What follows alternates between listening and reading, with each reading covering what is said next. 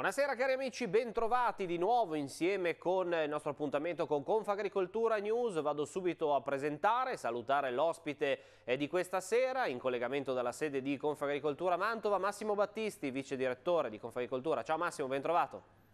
Ciao Andrea, buonasera a tutti. Allora, parliamo di uno dei tanti problemi che ha il nostro paese, cioè quello delle lungaggini burocratiche e parliamo di un argomento che ha veramente dell'incredibile adesso che andremo a spiegarlo. Parliamo di aiuti Covid alle filiere agricole. Ci sono 3 milioni di euro massimo che sono fermi a Roma a causa della, della burocrazia e di questi tempi, visto i, visti i chiari di luna che ci sono e visti i grossi problemi, è qualcosa veramente di incredibile. Di cosa si tratta?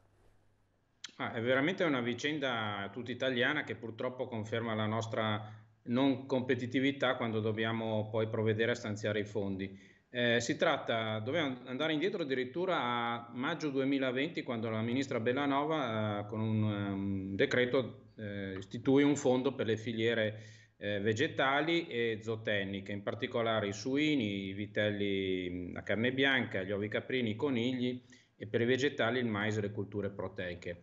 Erano soldi che dovevano arrivare abbastanza velocemente perché dovevano indennizzare i, i danni subiti dagli agricoltori e dai produttori per la, la, la crisi Covid.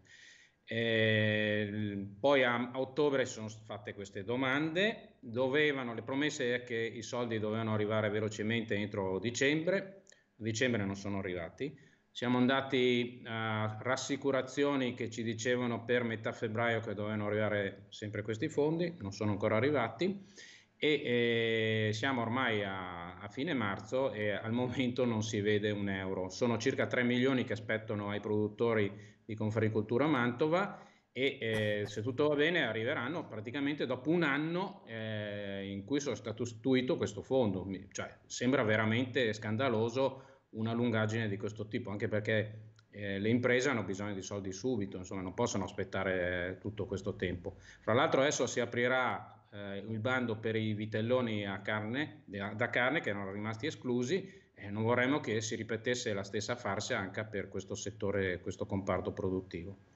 Assolutamente, purtroppo però mi sembra di capire anche Massimo che ci sia poco da fare, nel senso che più di sollecitare, più di tenere diciamo, il fiato sul collo a chi di dovere, eh, poi gli allevatori insomma, devono, devono, un po' rassegnarsi a, a, queste lungaggini burocratiche che purtroppo sono tante volte spesso accostate al nostro paese, ma ha ragione vedendo quello che succede.